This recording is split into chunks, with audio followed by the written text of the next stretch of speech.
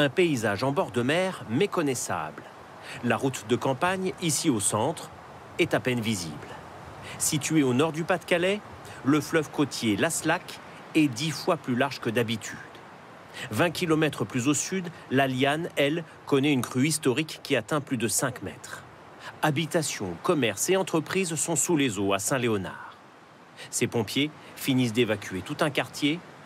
Dans le village voisin, station-service inaccessible, toute la zone industrielle est à l'arrêt, les 400 employés de cette usine d'électronique au chômage technique. Parmi les 60 communes inondées, Edignolles-les-Boulognes est coupé du monde, cerné par les eaux qui inondent toutes les routes d'accès. Certains doivent faire demi-tour comme ici. 30 km plus à l'est, sur les rives de l'Aa, Bourte est vidée de ses habitants. Jusqu'à un mètre et demi d'eau à certains endroits, du jamais vu ici. Tout avait pourtant été remis en état jeudi dernier, après le passage de la tempête Kieran. Dans ce département du Pas-de-Calais, les habitants de plusieurs communes ont passé la journée dans l'eau. Quatre fleuves, je vous le disais, quatre fleuves côtiers ont atteint des niveaux historiques. C'est le cas de la Liane qui est sortie de son lit à Saint-Étienne-au-Mont, près de Boulogne-sur-Mer. L'eau est montée de près de 2 mètres en quelques heures. Les pompiers ont multiplié les interventions pour évacuer des habitants. Zach Agili et Tanguy étaient à leur côté. La nuit s'apprête à tomber. Le niveau de l'eau est encore beaucoup trop haut. Après avoir passé 24 heures sans chauffage et sans électricité, Victor est résigné. Il doit quitter son domicile. Obligé de partir quoi. au bout d'un moment. euh, J'avais froid, donc euh, voilà, puis je vais me réfugier, chez- me réfugier chez des amis. Voilà. C'est une situation qu'on n'a jamais vue ici. Euh, oui, ouais, depuis 100 ans, je crois, ouais. Et ouais, là, c'est la première fois que l'eau est rentrée dans la maison, quoi. Dans ce village, l'eau est montée jusqu'à 1,70 m. On ne circule qu'à bateau. Nouvelle intervention pour les pompiers afin de secourir cet octogénaire. J'ai vu la première, la première inondation, mais là, c'est pire. Et puis ça dure beaucoup plus longtemps. C'est plus angoissant. L'unité des sauveteurs aquatiques des sapeurs-pompiers est en première ligne. Depuis le début de la crue, ils ont effectué une centaine d'interventions. Et quand même, moi, il y a des endroits où c'est vraiment inondé, puis les personnes, on voit qu'elles se retrouvent euh, bah, piégées, elles pensaient attendre pour rester chez eux, enfin, chez elles, et puis pour finir, euh, elles se rendent compte qu'elles sont dépassées par la situation. Il y a encore de nombreuses personnes à secourir. On fait du mieux qu'on peut, on essaye, mais là, pour l'instant, il commence à y avoir pas mal de personnes qui ont été mises en sécurité. En sécurité. Dans le quartier, 250 habitations ont été inondées, certaines complètement coupées du monde. Moralement, c'est fatigant. Là, on avait une petite batterie de fortune, on avait du courant euh, grâce à un beau-frère qui nous a prêté une batterie. Mais bon, avec notre petit chien et tout, c'est plus possible, on s'en va, quoi. Plus sage. Les sapeurs-pompiers vont continuer de secourir les sinistrés toute la nuit. Des renforts venus de départements voisins et d'Île-de-France sont attendus sur place. La crue de la Liane a également isolé plusieurs villages qui se retrouvent cernés par les eaux. C'est le cas d'Édignoles-les-Boulognes, au sud de Boulogne-sur-Mer. Nos reporters Sébastien Ambert et Bora Agirbas ont eu le plus grand mal à atteindre ce village de 700 habitants. Regardez. Voici le panneau que l'on voit à l'entrée des Dignoles-les-Boulognes. Tous les accès sont bloqués, le village est devenu une île. Le village est là, on voit le clocher, mais impossible, regardez, d'y accéder. La route est devenue un lac, une rivière. C'est très dangereux.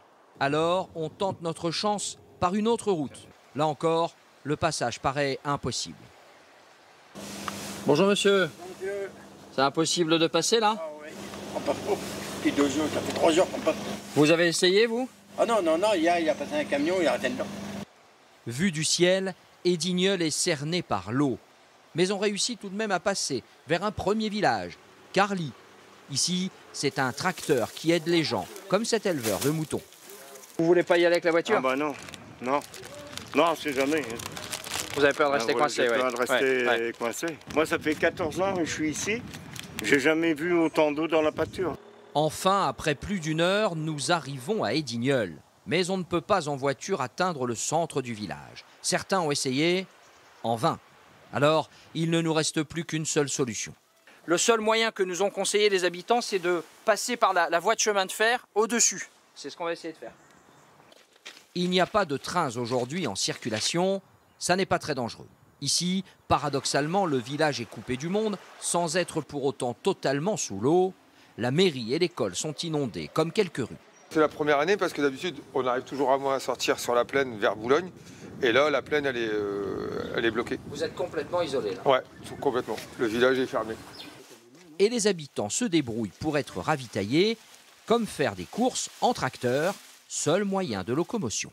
Du pain, on est allé leur chercher de la viande. euh, on a pris des trucs pour nous parce qu'on n'a plus rien, nous non plus. Donc, Ah, vous euh, avez tout mis dans la benne là Oui, bah oui. Il faut. N'a pas, j'ai pas pris de remorque, alors j'ai eu ça comme remorque. Ce soir, le niveau de l'eau a baissé un peu, mais de fortes pluies sont prévues en milieu de semaine. Plus à l'est, un autre fleuve, l'Aa, a atteint un niveau supérieur à celui de la crue pourtant historique de 2002. À Blandec, près de Saint-Omer, l'eau est montée à plus de 2,30 mètres. De nombreuses maisons, vous allez le voir, ont été inondées. Une vingtaine d'habitants a dû être évacués. Reportage d'Henri Dreyfus, Fabrice Maillard et Marine Der. Toute l'après-midi, les sinistrés de Blandec se sont retroussés les manches. L'unique moyen pour eux de ne pas ressasser. Il y a de la colère, il y a de tout. Mais bon, de toute façon, Pourquoi de la colère? Bah, on n'est pas aidé euh, par personne, on voit personne, on doit se débrouiller comme on peut. On n'est pas aidé, quoi. On se débrouille par nous-mêmes. Voici à quoi ressemblait cette même rue ce matin. L'eau s'est infiltrée dans la plupart des maisons. Une nuit d'angoisse et d'impuissance pour Josette et son mari. On peut rien faire. On dort pas, on pleure, on rumine Virginie, tu reviens avec moi l'intérieur de la maison. Cet après-midi, la décrue s'est amorcée, laissant derrière elle de nombreux dégâts, mais aussi de la colère. Jacques s'est senti livré à lui-même. J'ai appelé la mairie pour avoir des sacs de sable. On m'a répondu, il n'y en a pas. On ne s'est même pas déplacé. Éviter le pire, oui, parce que j'ai appelé mon beau-frère jusqu'à 5 h du matin avec des pioches et des pelles. Moi, je dis que c'est inadmissible. À quelques kilomètres plus en aval, l'heure est au tri dans le village de Sec. Aidé par des amis, Jérémy est fataliste. Il a tout tenté, en vain. On a essayé, nous on a essayé de monter les meubles, les choses, mais ça monte tellement vite que c'est impossible de, de réagir. quoi. On est impuissant, totalement impuissant. On pense que ça arrive qu'aux autres, et puis finalement, bah voilà. Je pense qu'on peut pas arrêter de l'eau. On n'arrête pas la nature. La nature n'est pas arrêtable. Donc... Comme eux, la plupart des habitants que nous avons croisés attendent avec impatience la reconnaissance de l'état de catastrophe naturelle. Météo France prévoit de nouvelles précipitations dans les prochaines heures. Par endroits, il est déjà tombé plus de trois semaines de pluie en moins de deux jours. La décrue sera très lente. Dans certains villages, le niveau de l'eau pourrait encore monter de plusieurs dizaines de centimètres. Victor Topno et Erwan Drouillac. Ces derniers jours, des averses très violentes.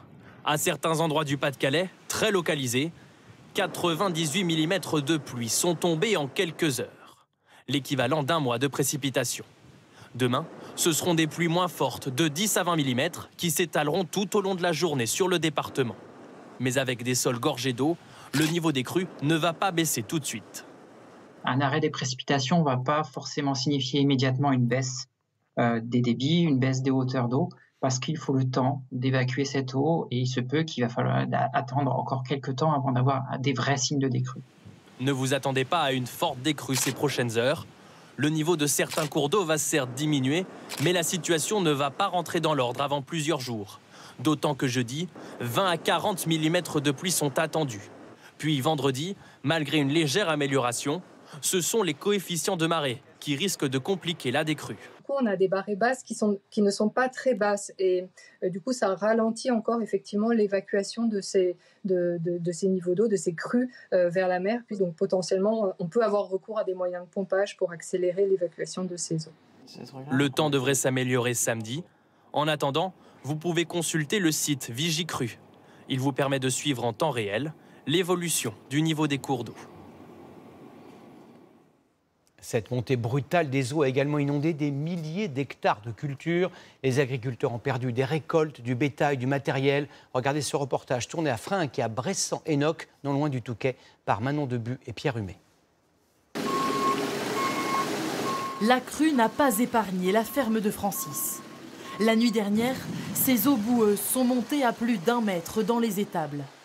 Malgré tous les efforts de l'éleveur, 10 de ces veaux sont morts noyés. Comme l'eau a monté, les, les, petits veaux, ils étaient dans leur, dans leur box et puis euh, ben, ils, ils, ils, sont morts par asphyxie. Quoi. Les vaches rescapées sont à l'abri, Mais elle court désormais un autre danger. Le robot pour les traire ne fonctionne plus. Elle souffre depuis 48 heures, l'épi chargé de lait. Elles crient, quoi, elles gueulent. Et euh, elles ont mal à leurs mamelles. Il faut dire que dans les mamelles, là, il doit y avoir 35, 40, 45 kilos de lait. Donc il faut absolument les traire dans les 2-3 heures qui viennent parce qu'elles pourraient mourir. Dans l'exploitation voisine, les vaches pataugent encore dans une mare de boue. Là, je crois que tant qu'ils ne sont pas nettoyés, on ne va pas dormir. Quoi. Fatiguées, incapables de s'allonger, elles risquent l'hypothermie dans quelques heures. Demain, ils vont être grippés, ils, vont mourir. On leur remettre à manger pour qu'ils puissent manger. Nettoyer tous les abreuvoirs parce que vous voyez, l'eau est passée au-dessus des abreuvoirs, donc ils n'ont même pas accès à l'eau. Une course contre la montre. Pour nettoyer les enclos, toute la famille est venue en renfort. On a eu une moisson cet été qui était désastreuse. Et en plus de ça, la tempête qu'il y a eu la semaine dernière, plus le coup d'eau là, bah, je trouve ça normal d'être là. Pour... On aime nos animaux. C'est la même chose chez les collègues. Donc il faut, il faut prêter main forte. quoi. Les agriculteurs de la côte d'Opale s'entraident. Hier, l'un de leurs tracteurs a même permis un sauvetage dans une voiture bloquée par la crue. Depuis une semaine, ces engins agricoles servent à nettoyer les dégâts des inondations. Donc euh, tout ce qui a été en contact avec l'eau, l'eau d'inondation, sera acheté parce qu'on ne sait pas euh, ce que l'eau a pu drainer justement. Et donc on, on part du principe qu'elle est potentiellement en- empoisonnée. Cet agriculteur estime qu'il vient de perdre 30 000 euros de fourrage et qu'il lui faudra plus de deux semaines pour tout remettre en ordre. Ces fleuves côtiers du Pas-de-Calais n'en sont pas à leur première crue. En 2002, l'AA était déjà sortie de son lit, submergeant à l'époque plus de 700 maisons. Les communes ont-elles tiré les leçons de ces catastrophes? Des aménagements ont-ils été construits ou prévus? Antoine Bordarias, Thomas Misraki et Quentin Danjou. Le terrain de football de Fauquemberg, toujours recouvert d'eau ce soir. Cette commune a subi de plein fouet les intempéries. Sur ces photos prises la nuit dernière, la rue principale, disparue sous les eaux, les habitants pourtant habitués aux crues n'avaient jamais vécu de telles inondations. Les quantités d'eau qui sont tombées euh, en amont euh, sont tellement impressionnantes que j'ai jamais vu ça. Et l'eau, elle, elle a commencé à monter d'un coup. euh, en une heure de temps, on a pris 30-40 cm. Puis on ne pouvait plus rien faire. Une nouvelle fois, c'est la rivière Laa qui a débordé. Exactement comme il y a 21 ans. En mars 2002, lorsque toute la vallée de cette rivière avait été inondée. Après cette crue historique, les élus locaux s'étaient engagés à créer des aménagements spéciaux. Depuis, des études ont été menées et 14 millions d'euros dépensés pour créer des digues et ce qu'on appelle des champs d'inondation contrôlés tout le long de la rivière.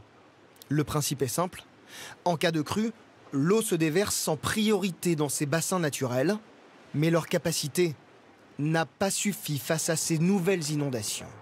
Sur des événements comme ça, ça sera toujours insuffisant. Je pense qu'il faut être suffisamment humble et se dire que le risque zéro n'existera jamais. Là, bah, on ne peut plus rien faire.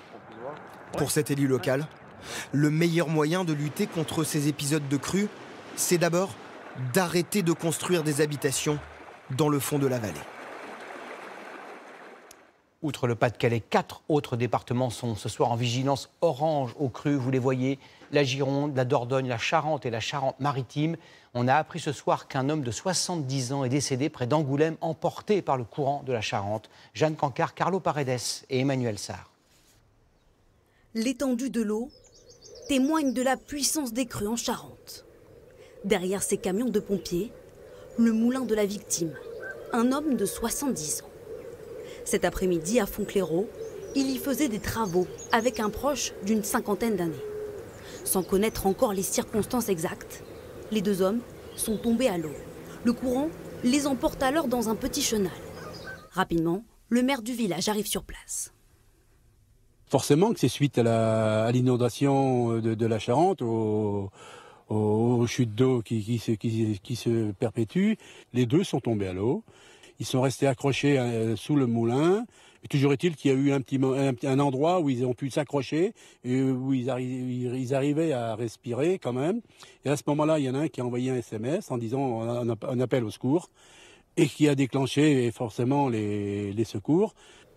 Les secours parviennent à extraire les deux hommes. Le quinquagénaire est conscient, Mais le propriétaire du moulin n'a pas pu être réanimé. Cet homme serait pour l'instant la seule victime de ces inondations. Autre phénomène naturel, les tempêtes Kiaran et Domingos, accompagnées, on s'en souvient, de vent à plus de 170 km/h. Elles ont transformé le littoral. Dans les landes, des montagnes de sable ont été déplacées et ont envahi une partie de la station balnéaire de Mimizan. Regardez le reportage d'Alexandra Vieira et Florian Gourdin. Certaines rues de Mimizan sont comme ensevelies sous le sable. Les rafales de vent ont dépassé les 150 km/h ce week-end et le sable s'est engouffré dans la ville sur plusieurs centaines de mètres. Il bloque totalement l'accès à certaines habitations. Je m'attendais à en trouver un peu moins, mais oui, c'est surprenant. Puis on a enchaîné deux tempêtes consécutives aussi, donc ça s'accumule. Même ceux qui ont connu de nombreuses tempêtes viennent constater les dégâts. Cet escalier, par exemple, a totalement disparu sous le sable. C'est impressionnant parce que les tempêtes, on en a vu à Mimizan, des fortes tempêtes, mais enfin avec cet apport de sable, rarement. Quoi. Le vendredi dernier, on ne pouvait pas s'approcher, on ne pouvait pas regarder la mer de face, tellement que le vent nous liquide dans la figure. Heureusement que ce n'est pas souvent. Quoi. Deux à trois semaines seront nécessaires pour tout remettre en état. Plusieurs dizaines d'agents municipaux sont mobilisés. Euh, là, on est en train de constituer les équipes. On risque de passer euh, plusieurs semaines pour dégrossir. Et puis après, on va faire des équipes avec des outils un peu plus petits, un peu plus maniables pour passer dans les endroits, les petites rues, euh, les esplanades. On va louer quelques machines pour renforcer un peu le matériel. On voit que les, les filets coco, ben, ils ont explosé. Donc on a, plus on a vraiment plus d'arrêt là maintenant. Sur la plage, l'heure est au bilan. Il est parti. Hein. Il fait plus son boulot. Les infrastructures de protection sont à consolider. C'est une tempête tout à fait banale. Euh, Le, problème, c'est que ben, on en a eu trois en suivant. C'est la succession qui euh, n'est pas habituelle. On va intervenir à nouveau sur le site pour euh, remettre une nouvelle ligne, voire deux lignes de, de filets et si possible même une nouvelle couverture végétale. Mais pour pouvoir intervenir, les équipes attendent une météo plus clémente. Des rafales de vent à 50 km/h ont balayé la côte toute la journée.